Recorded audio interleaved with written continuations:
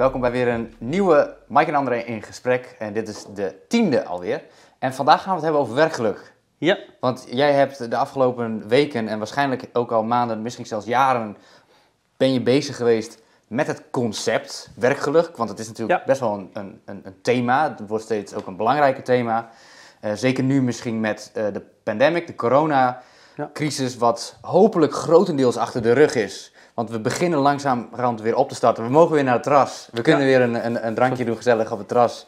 Ehm, dus misschien is het thema werkgeluk nu wel juist het belangrijkste. Want hoe zorgen we ervoor dat we weer naar het werk gaan, ons gelukkig kunnen voelen na een periode van heel veel ongeluk? Ja. Maar vertel, jij wil het graag hebben over werkgeluk. nou ja, kijk, werkgeluk is wel iets wat je die laatste jaren veel over hebt. En, en, en eigenlijk moet ik zeggen, ik, ik vind het eigenlijk heel lastig, want ik vind sowieso het begrip geluk heel lastig. Hm. En, en je merkt wel in het, eh, eh, dat, dat we heel erg op zoek zijn naar de juiste balans tussen werk en privé. Ja. En, vroeger, 10, 20 jaar geleden, was dan de juiste balans van werk en privé dat er een scheiding was. Hè? Dat je om vrijdagmiddag 5 uur begon privé en om Ja. 9 uur.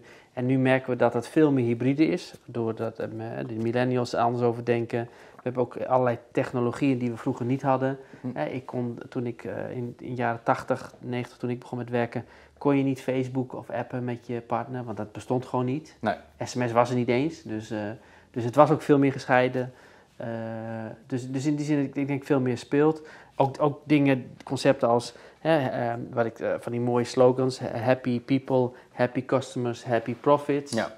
Ja, wat is, of happy employees bedoel ik daarmee, wat is, wat is een happy employee? Of de, wat ook wel een leuke titel is, tenminste meer in, in de fun fa- factor, Chief Happiness Officer hoor je ook wel. Ja. Er worden ook steeds meer mensen aangesteld om, om mensen blij. Dus, dus dat, dat, dat begrip werkgeluk, vind, ja, dat vind ik wel heel erg boeiend. En ik, en ik, ik geloof er absoluut in, alleen het moet wel, eh, het, het wordt ook weer een definitie, wat is werkgeluk? Mhm. En in mijn beleving is dat niet, oh, allemaal helemaal happy en, ehm, En overal pingpongtafels en eh, knuffelmuren. Maar- en eh, van kampvuurs En, ook met eh, marshmallows. dus, dat, dus ik vind het gewoon een heel interessant thema en ik heb er veel over nagedacht, ook veel met mijn opdrachtgevers hebben het er ook over. Van, Hm. van wat is dat werkgeluk, wat bedoelen we daarmee, hoe kunnen we dat implementeren op de juiste manier. Dus ja, het speelt enorm, ja. Kun je het ook meten? Geen idee. ja, weet je, Hoe- eh, dit is echt nog in de pionierfase. Thema, we gaan het werkgeluk verhogen. Oké, Ja. wat is de baseline? Waar Ja, zitten we dan is- hoe staan we, waar weer heen? Ja. Ja, maar, jij hebt er nog veel meer verstand van. Maar u- überhaupt het, het geluk kun je dat meten. Wat is geluk? De vrij, vrij brede definitie. Ja, dat eh, kunnen we ook weer, voordat we daar, die, Ja, maar, dat eh, maar- zijn we drie uur verder. Maar wat Het zijn wel, denk ik, waardevolle eh, parameters die we moeten schetsen. Van, eh, Ja. Wat is geluk als we het hebben over werkgeluk? Waar hebben we het dan eigenlijk over? ja, Wat definiëren we als geluk? ja. Nou, kijk, eh, ik, ik, ik, geluk is dan voor mij het containerbegrip. Dus ik denk dat er uiteindelijk een ander, ander eh, werk, woord voor gaat komen. Misschien werksatisfactie of zo. Ja, Maar ik ervaar geluk, hè, werkgeluk wel zoiets als dat, hè, zoals, hè, de eerste dingen die ik eh, heb ontdekt is, werk moet een toegevoegde waarde zijn voor de, voor de persoon. Dus, dus het feit dat je naar, naar, naar je, de, de integratie van je werk met je privéleven, eh, eh, eh, ehm, ik vond een hele mooie uitspraak van een, werk moet jou een beter mens maken. oké. Dus het houdt in, een werk faciliteert jou in het zoeken van het geluk. Dus, Ja. dus bijvoorbeeld zelfontwikkeling, Oké. leren, Maar laten we respect, Een stukje terug. Je- significantie. Werk moet van jou een beter mens maken. Word je een beter mens van alleen maar gelukkig voelen? Geen idee. Denk het, ik denk het niet. Als we kijken naar wanneer word je, waar word je een beter mens door. En ehm, dat is, ehm, hoe heet die nou? Het is een mooi bruggetje, of niet per se een bruggetje, maar een mooi link naar de video die ik gisteren heb gezien van de Playbook. Ja, Eerste aflevering, hoe heet die nog Doc maar weer? Rivers. Doc Rivers. Die Ja. zegt ook van, ehm, pressure is a privilege. Dus onder druk staan is een privilege. Ja. Dus eh, ergens voor moeten strijden, iets wat zwaar en moeilijk is, is een privilege. Daar word je een beter mens van. Ja. Daar groei je door. Voel je dan overwinnen. happiness op dat moment als je zwaar onder druk staat?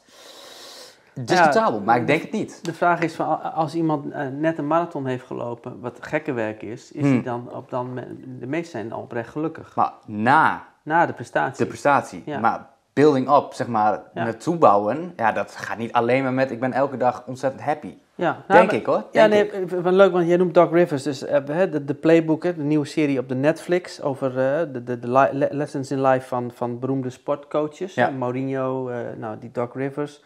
Ehm, ik vind de analogie met sport, ja, ik ben altijd iemand die snel de analogie zoekt met sport. Ja. Ik, ik, vind dat je als bedrijf heb jouw team, hè, jouw, jouw, jouw, is, is jouw sportteam, hè, of je nou een basketbalteam, een voetbalteam is of je eigen. En zo moet je ook als coach, moet je ook die mensen beter willen maken, in de kracht zetten. Maar ook gewoon, eh, wat ik bedoel met ehm, eh, een beter mens maken, better, better, uh, niet van, van, van in, in normen en waarden, maar doordat ik me ontwikkel in mijn werk, heb ik mijn privé-situatie beter op orde. Mhm. uiteindelijk krijg je doordat je werkt, kun je huizen kopen, kun je kinderen laten studeren, kun je dus, dus een ehm, en, door en, en in je werk krijg je weerstand, wat jij misschien bedoelt, waardoor je weer sterker wordt, beter wordt, groter wordt. En die, die heb je ook in je privé nodig. Want daar heb je ook weerstand, daar heb je ook dingen die je moet oplossen. Daar kom je ook dingen tegen. 100%. Dus ik, ik, ik denk werkgeluk is denk ik als je, als je, als je, als je in staat bent om als, als werkgever ehm, eh, een dusdanig werk voor iemand te creëren waardoor die een, een complete mens kan worden. Waardoor die dingen leert. Hmm. Uh, hè, bijvoorbeeld, uh,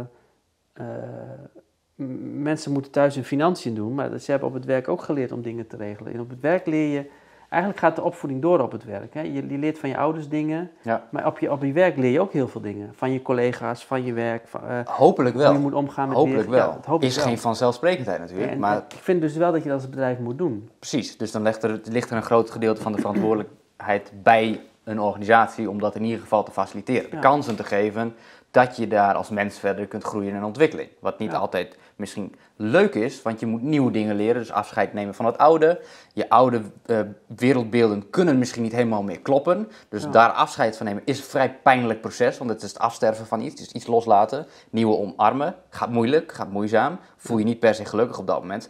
Maar als je dan een stuk verder bent, ja, dan kun je misschien wel weer meer geluk voelen. Maar nog even terug te pakken op die documentaire, wat mij ook opviel, is, hè, want ze grijpen veel terug naar sportanalogieën. Dit zijn sportcoaches. Ja. Wat ik zag, en ik weet niet of het, het viel mij in ieder geval op, dat die coaches ook weer vanuit andere domeinen hun, hun input halen. Want zoals Doug Rivers, die keek bijvoorbeeld heel erg naar Navy SEALs teams. Ja. Daar heeft hij naar gekeken. Hij keek naar, vanuit het begrip Ubuntu naar Zuid-Afrikaanse stammen. Dus dan hebben we het over een, een, een hele cultuur waar hij zijn input vandaan haalt. Dat mergt hij, of dat brengt hij samen met het sport en daar maakt hij iets nieuws van. Dus dat is eigenlijk fascinerend dat dat gebeurt. Wij kijken bijvoorbeeld naar wat doen ze in de sport. In de sport kijken ze naar wat doen ze in culturen en wat doen ze in, in, in, in, um, in het leger bij wijze van. Ja. Dus dat, ja, en, en, en kijk, en, en, je ziet ook, hè, de, de meest succesvolle teams, en het zijn natuurlijk uitzonderingen, maar de meerderheid zijn teams die op een of andere manier een, een, een bepaalde dynamiek, hè, vreugde, hè, mm uh, saamhorigheid, die, die een bepaalde mystiek over zich hebben, waardoor ze winnen. Het is ja. de, het, Real Madrid, nou goed, jij hebt niks met voetballen, maar Real Madrid, hè, de Galactico's, die kocht gewoon de beste spelers, hmm. maar die wonnen niks. Hmm. Dus er is iets, er is iets dus in, in de magie, waardoor mensen dus heel erg genieten van hun werk, hè, want sport, het zijn professionals, dus het is hun werk. Ja. En dat, zou ik ook in, dat wil ik ook in het bedrijfsleven. Ja, dus dezelfde fun factor, genieten, met elkaar dingen doen, van elkaar leren. Maar is eh, dit elkaar een, ontwikkelen, is dit een, betere mensen van elkaar maken. Is dit een vorm van Ubuntu wat je dan in wil brengen? Ja. Dus oké, dat is interessant. Ja, dat is lastig, maar dan moet, moet je wel weten wat Ubuntu is. Ja, nee, en dat is al een podcast Om, uh, waard. Maar... Wat, wat, ik heb meegekregen, Ubuntu is niet een woord, nee. maar is veel meer dan dat. En het advies wat Doc Rivers heeft gekregen, Google it, zoek het op. Kijk wat het betekent. Nee, maar hoe ik het, eh, zeg maar, hoe het nu in mijn hoofd zit, Ubuntu is betekent uh, uh, je bent niet alleen, je hebt elkaar nodig. Je bent een eenheid. Je, ja. uh, Ubuntu is, je hebt een connectie met elkaar. En het is een way of life. En, een way of life. En, en als je dat voelt en dat hebt, dan word je beter. Dat zijn ook mensen die voelen ook... Die, sommige mensen hebben gewoon collega's. En sommige mensen hebben collega's waar ze echt iets mee hebben. Ja. Het mooie, dat is Ubuntu. Een mooi voorbeeld wat ik vond. Hij gaf er twee die zijn blijven hangen. Van dat hij één keer in de bus stapte met een cheeseburger voor zichzelf. En dat iedereen zo zei van Oh, dus voor jou alleen? Waar is, uh, waar is, waar is die van ons? Waar is je Ubuntu? Ja. ja. dus was de, oh ja, inderdaad, Ubuntu, we doen het samen. En dat hij op een gegeven moment zijn vader verloor. En dat een van die spelers in, in de half, uh, tijdens de rust van het spel belde en ook wel zei van, weet je, als jij verdriet hebt, hebben wij ook verdriet. Ja. dat is Ubuntu. dacht ik, wow, Ja. dat is best wel sterk. Nou, en dat, dat vind ik dus een vorm van, van werkgeluk. Hè? In, Hmm. in, in die zin dat je, dat je emoties voelt in het werk, dat je blij van, dat je verdriet, dat je, eh, dat, dat, dat je leven doorgaat op het werk. Ja. Vroeger was werk privé gescheiden. Ja. En heel vroeger was je werkte om privé dingen te kunnen doen, dus je werkte gewoon zodat je op vakantie kon.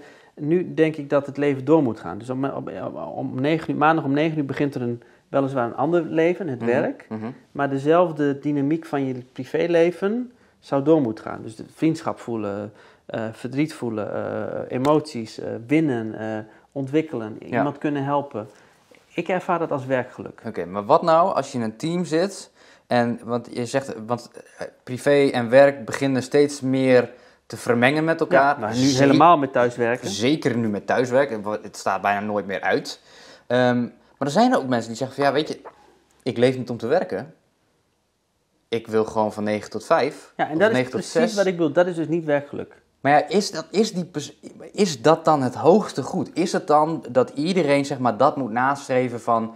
ook op je werk eh, moet je dat werkgeluk naleven... en je mag je werk niet meer zien als slechts je werk? Oh, je, je- mensen mogen, mogen keuzes maken. Hmm. Maar ik denk dat je gelukkig, of in ieder geval, dat, gelukkig vind ik een heel moeilijk begrip. Maar Hmm. ik denk dat je het beste gedijt, of, of, of het meeste uit je leven haalt, als, als, als jouw leven niet stopt om 9 uur maandag en dan om 5 uur, vrijdag 5 uur weer begint. Hm. Het is mooi als dat een volledige integratie is tussen werk en privé, waarin het wel helder is wat werk en privé is.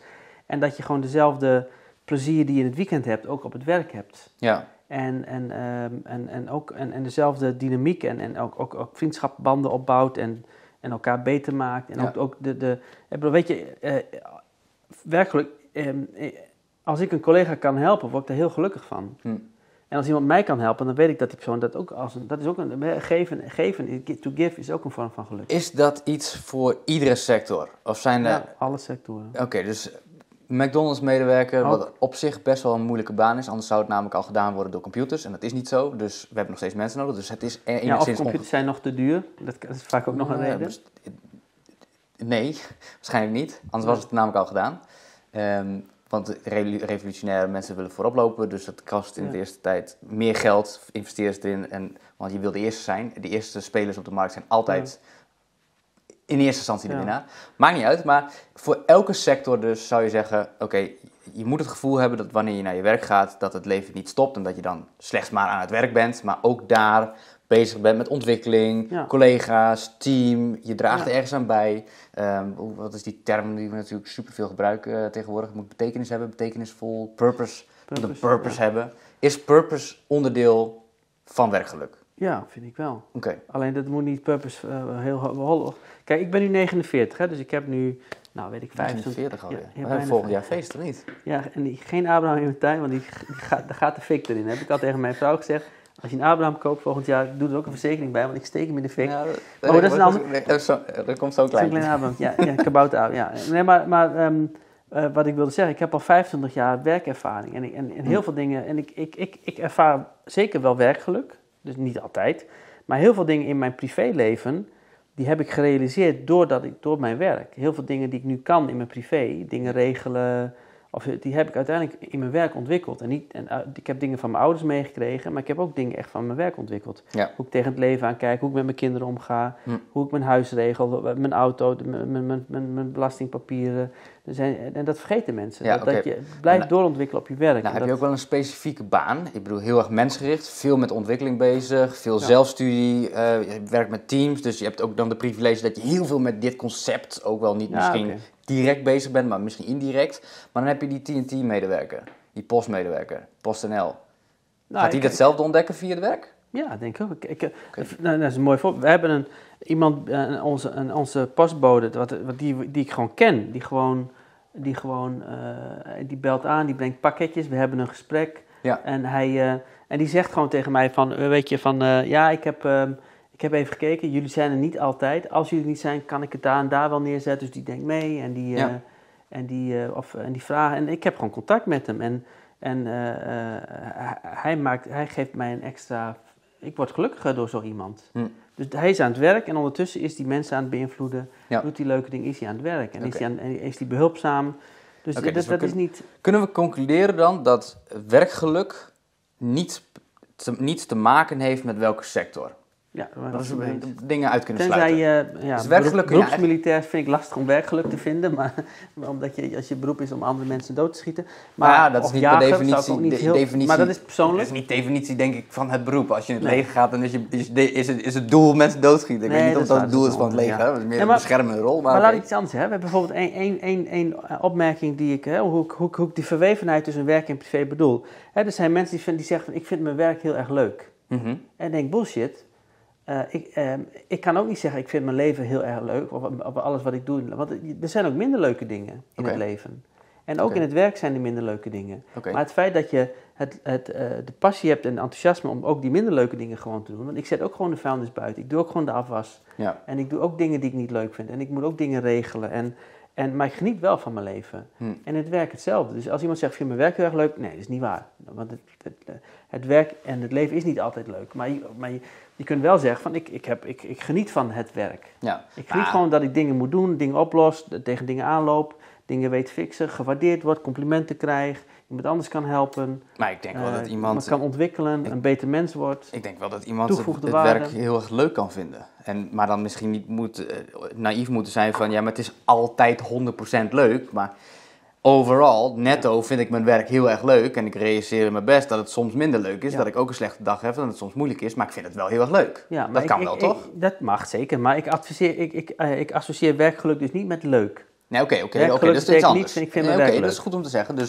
het is niet dat jij zegt van, oké, dus als je per se werkgeluk voelt ehm, of, of nastreeft, dan moet je het werk juist heel erg leuk vinden. That's it. Dat is Ja. niet wat je zegt. Dus we zijn nou aan het zoeken van, Nee, wat is dat nou eigenlijk? Ik die- weet het nog steeds niet. defi- Ik- ik- definitie Ik, zeg alleen dat, dat je, ik vind dat als je, hè, van ik, ik kijk van wat moet er gebeuren. Dus ik vind als organisatie moet je vooral mensen faciliteren in dat werkgeluk. En in, in mijn beleving is werkgeluk is van eh, successen vieren, ja, toch met nederlagen leren om te gaan. Oké, ook een andere vraag. Wanneer begin je met het streven naar meer werkgeluk?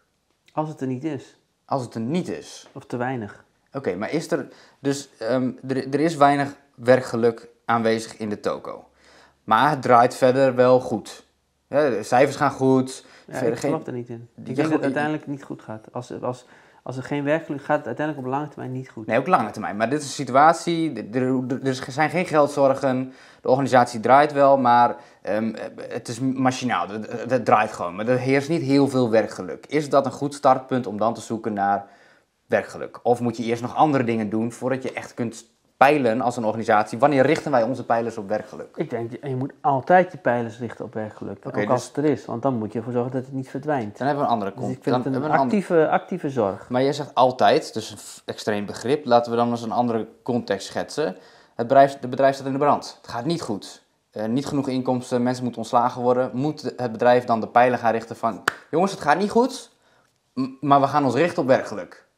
Is dat een goed startpunt? Want ik, Ja, ik, denk dat probeer ook, een ook als het slecht gaat, kun je werkgeluk hebben. Kijk, weet je, kijk ik, heb, ik heb het voorrecht gehad, ik heb in, in, in, met de Artsen zonder Grenzen, ik heb één jaar in een oorlogssituatie gezeten. Dus, dus in Darfur destijds 2005. En daar was echt oorlog, daar gingen ook mensen dood. Ja. Maar het- mensen hadden wel geluk. Ze waren uiteindelijk ook wel gelukkig. Hmm. Het is heel raar, want eh, we hebben het gevoel van als je in een oorlog bent, mag je dus niet gelukkig zijn. Hmm. Maar het is een andere vorm van geluk.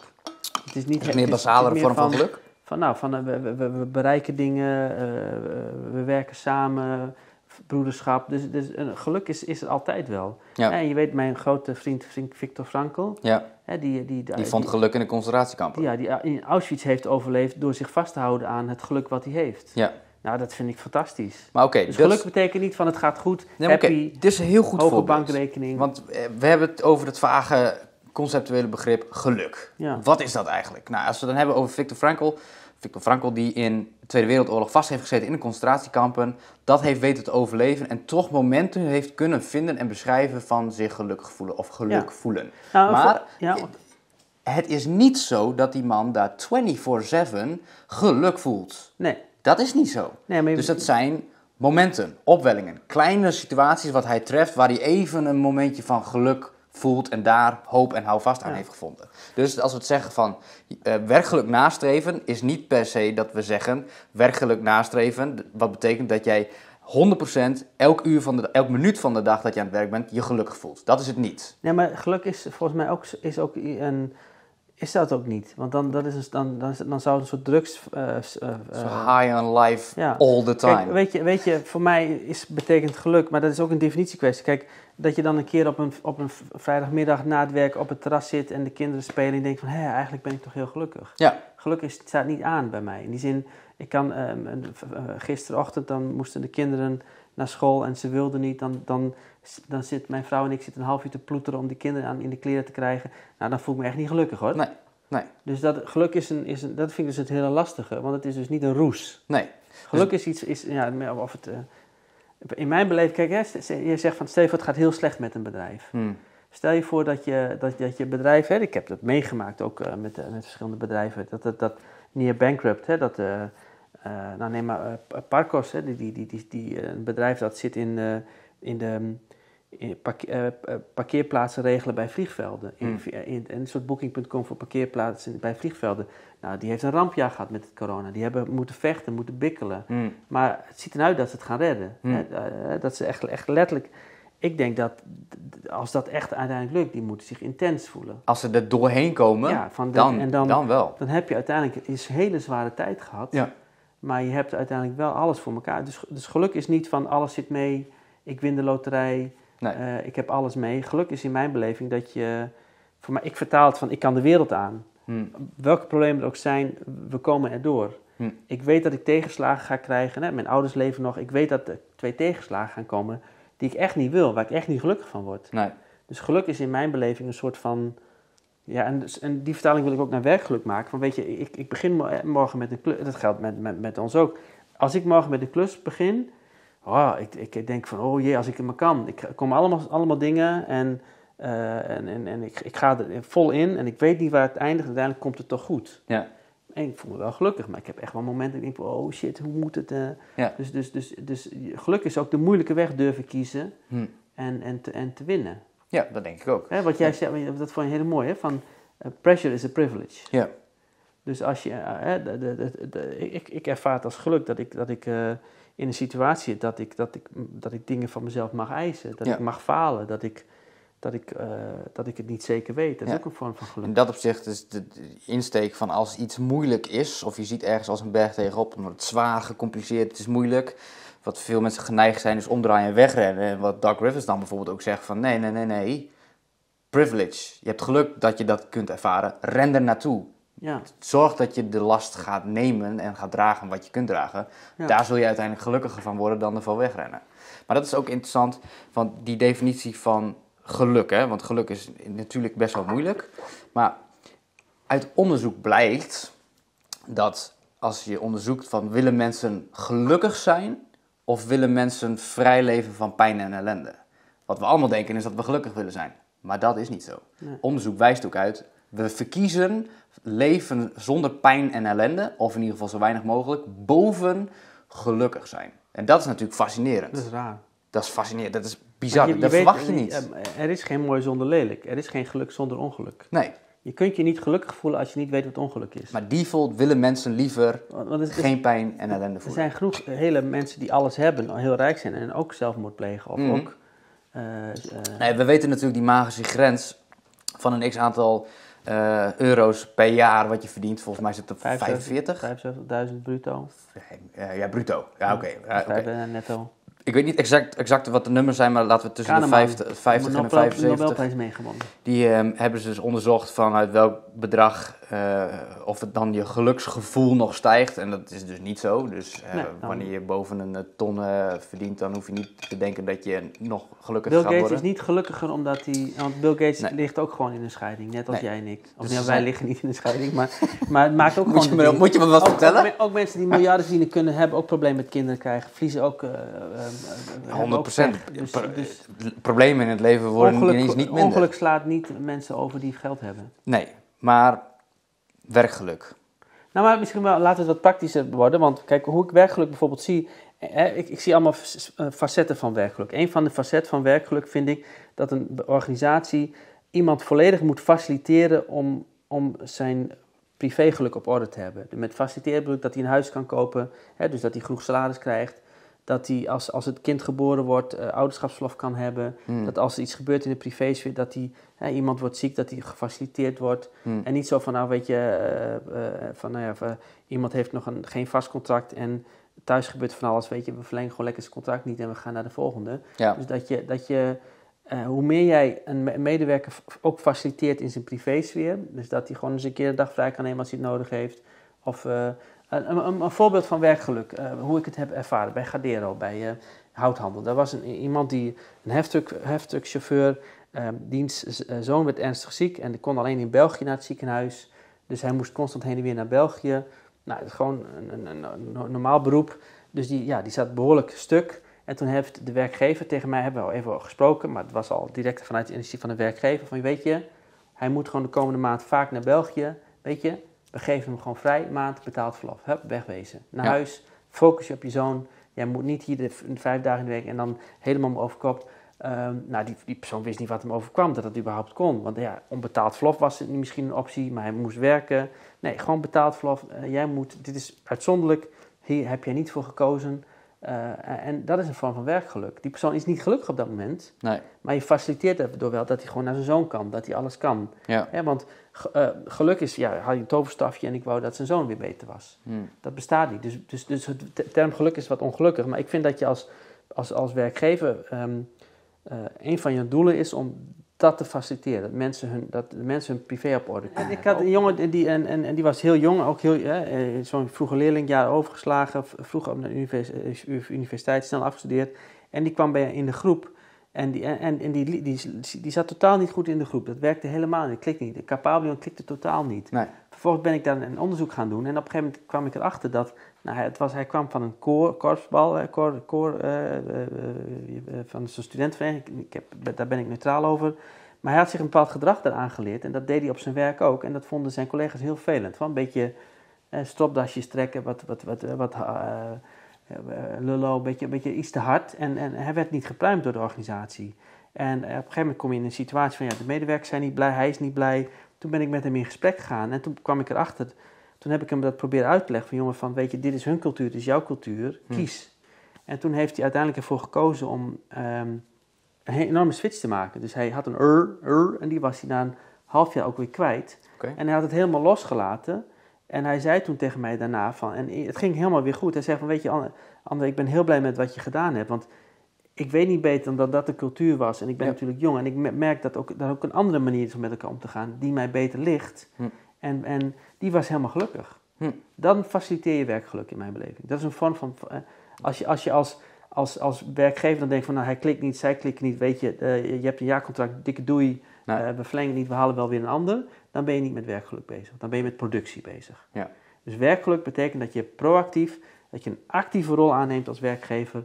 om vooral mensen in hun kracht, eh in hun zingeving te zetten. Oké, maar dus jij En- zegt, En dan geniet ik. Werkgeluk is En dan dus ben niet, ik gelukkig. werkgeluk is niet alleen het, le- het leuke dingen nastreven en iedereen zo blij Nee. mogelijk maken, maar werkgeluk is ook confronteren Ja. en de moeilijke punten bespreekbaar maken. Ook dat is Ja. onderdeel van werkgeluk. Ja, want hoe ik het ook zie, want dat is ook werkgeluk trouwens hoor, maar dat is, dat is de, de, de easy, eh, easy een, een, een, een ui- uitje met z'n allen. Maar ik had ook een keer, een tijd geleden, een medewerker die, nou, die was wat, wat langer haar, had een beetje overgewicht, maar was heel getalenteerd, maar moest zijn studie nog afmaken. Het zag er allemaal niet heel, ehm, ging, ging, de relatie ging niet goed, ging ook uit en eigenlijk ging alles net niet goed, maar het was wel een heel getalenteerd iemand. En op een gegeven moment zei ik tegen hem in een gesprek van, weet je, ik ga gewoon heel eerlijk tegen je zijn ik vind jij echt een waste of talent. Ik zei, zoals jij bezig bent, Hmm. eh, je gooit je talent weg. Je Hmm. bent super getalenteerd, maar je, eh, je, je doet niet je best. Je studeert net niet af. Je, doet niet, weet je, je mag zo door het leven gaan. Maar ik vind het, ik je gooit echt talent weg. Dat vind ik jammer. Hmm. Nou, het effect daarvan is dat hij daar heel erg van schrok. Want omdat hij heel getalenteerd was, kon hij dingen wel redelijk goed afmaken. Ja. Een jaar later, dezelfde persoon, volledig afgetraind. Hmm. Kort haar, ik zeg niet dat lang haar fout is, maar gewoon heel ander uiterlijk. Een weer nieuwe vriendin, studie afgerond. Hmm. En heel, hartstikke happy. En hij zegt tegen mij in het, in het, in het, in het, in in het functioneringsgesprek waar ik bij was, hij zei, weet je Anne, weet je, wat jij toen deed was brutally honest. Zo noemde hij het. Ja. Brutally honest. Ik vond het heel vervelend wat je zei. Het was Mm. keihard. Het, het, het deed me heel veel pijn. Maar het heeft me wel aan het denken gezet en het heeft me besloten dat ik keuzes heb gemaakt. Ja. En dat is werkelijk creëren. Ja, oké, maar het, eh, oké, en het belangrijkste, denk ik ik... had ook kunnen zeggen, weet je, ik ga niet met jou verder Nee, precies. Maar en, op, ik, en ik verleng je contract niet en ik haal wel weer hoe iemand hij het omschrijft, brutally honest. Je hebt die persoon op een zeer heftige manier geconfronteerd met wat je ziet. Alleen ik denk dat het allerbelangrijkste is dat wanneer je zoiets doet, vanuit welke plaats je dat doet. Want jij doet dat niet om hem te kwetsen, maar jij ziet iets in die persoon. En je bent betrokken en meegaand. eh, je, je, je hoopt voor hem het beste. Dus Ja. vanuit een plek vanuit goedheid heb je die persoon geconfronteerd van luister. Ik zie dat je zoveel meer in, in huis hebt dan wat je nu laat zien.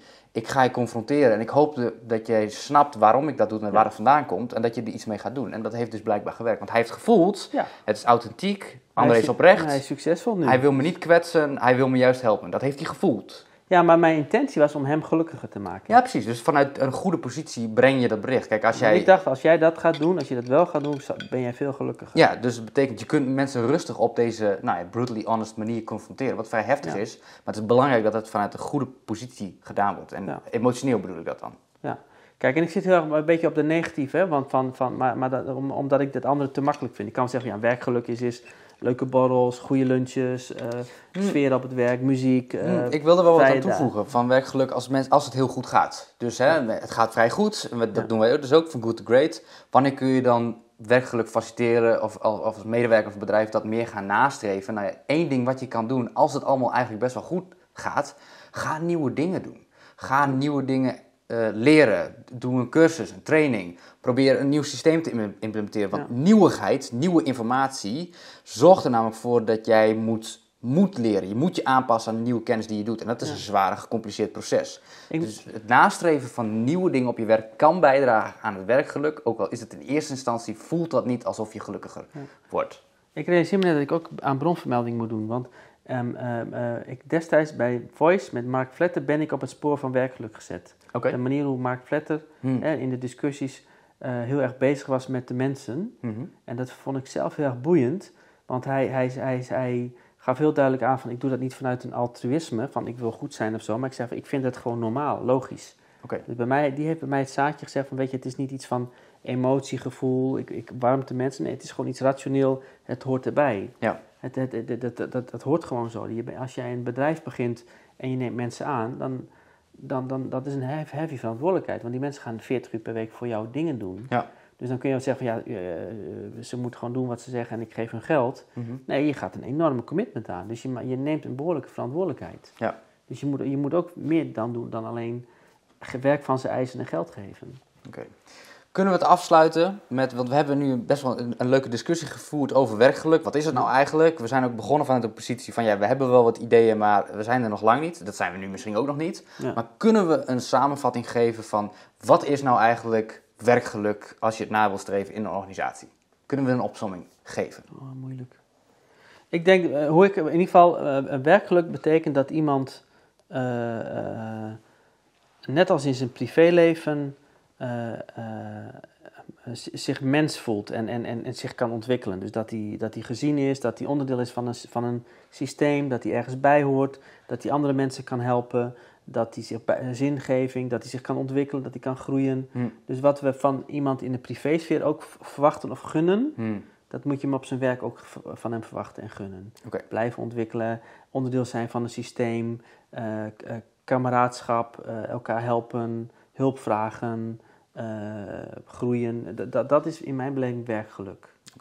Maar dat is niet een, eh, dat is een begin van een definitie. Ja, het is geen, geen, geen vastgekaderde, heldere om, eh, definitie. Maar als ik hem dan ook mag vertalen, als we dan kijken naar wanneer we adviseren voor een organisatie die werkgeluk wil nastreven, is dat het belangrijk is dat je medewerkers faciliteert in de privéomgeving. Dat je ervoor zorgt dat zij eh, daar stabiliteit heersen, financieel, mentaal, fysiek, al die facetten.